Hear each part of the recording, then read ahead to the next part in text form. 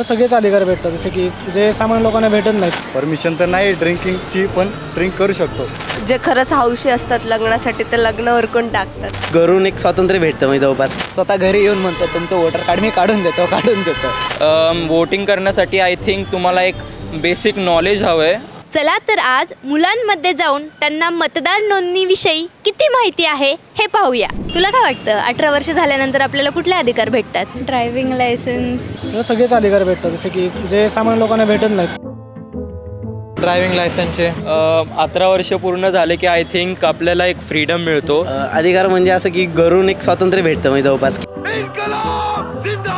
Permission तर नाही ड्रिंकिंगची पण ड्रिंक करू शकतो.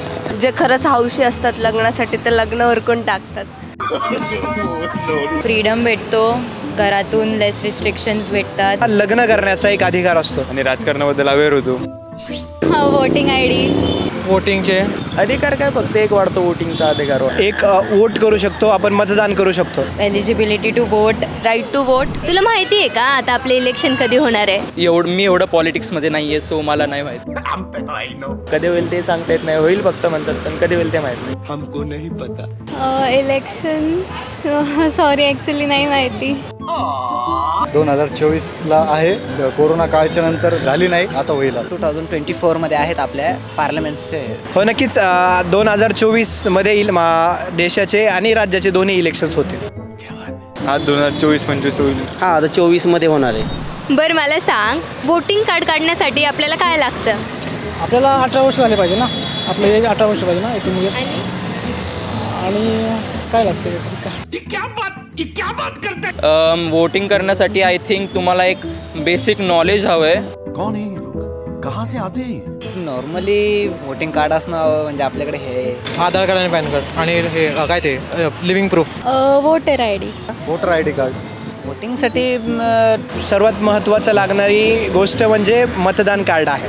एटीन प्लस आणि voter I D Aadhaar card PAN card voter I D voter I D Aadhaar card voting card लागतं बस. ते वोटर आय डी आपल्याला कसं मिळतं? याची काही कल्पना आहे का तुला? ते अप्लाय करायला लागतं त्यासाठी. कसं? ते नाही माहिती. त्याच्यासाठी रेजिस्टर करावं लागतं आय गेस मी होतं मी म्हणजे मी गावातूनच काढून घेतलेलं ते. हां नोंदणी करावी लागते आपल्याला त्यासाठी जाऊन. हो लागतं ना. टेन्थ बोर्ड सर्टिफिकेट किंवा ट्वेल्थ बोर्ड सर्टिफिकेटच्या बेसवर आपण आठ वोटर आय डी कार्डसाठी अप्लाय करू शकतो. वोटर आय डी आता त्यामध्ये तरी आता म्हणजे इलेक्शन कॅम्पेन सुरू झालं आहे की जो तो कॅन्डिडेट उभा राहील तो तो त्या त्या त्या पद्धतीने आपल्याला फ्री ऑफ म्हणजे स्वतः घरी येऊन म्हणतो तुमचं वोटर कार्ड मी काढून देतो काढून देतो. त्याच्यामध्ये वोटर्स हेल्पलाईन म्हणून एक ॲप आहे. त्याच्या माध्यमातून सुद्धा आपण वोटिंग हेल्प वोटर्स काय आय डी काढू शकतो. क्या बात है सर क्या बात है। आपल्याला नॉर्मली कुठल्याही जनसंपर्क कार्यालयातून मिळतं. म्हणजे लाईक आपण त्यासाठी अप्लाय करायचं असतं. आपल्या शाळेमधून पण मिळू शकते कॉलेजमधून पण मिळू शकते. बोनाफाईड वगैरे हे देऊन वगैरे. ती ग्रामपंचायत सर्वे असतो. त्या सर्वेनुसार आपल्याला ते आपले नाव आपली इन्फॉर्मेशन घेतात. आणि त्यानंतर आपलं पा वोटिंग आय डी भेटतात एक दोन महिन्यानंतर. Voter I D Aadhaar card PAN card माहीत नाही मला. मी अजून बनवलं नाही आहे नाही बरं बट आता खूप सोपं झालं आहे वोटर हेल्पलाईन म्हणून एक ॲप आहे. ते इन्स्टॉल केलं ना आपण गुगल प्ले स्टोअरवरनं तर त्यात सगळी इन्फॉर्मेशन दिलेली आहे. आपलं आपण त्याच्यावरनं वोटर आय डी पण काढू शकतो. पत्ता वगैरे काही चेंज करायचं असेल तर ते पण करू शकतो.